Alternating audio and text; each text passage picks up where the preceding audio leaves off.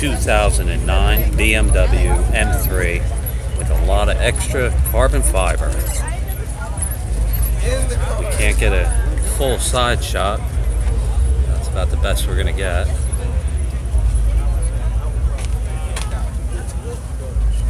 Nice seats. Beautiful interior.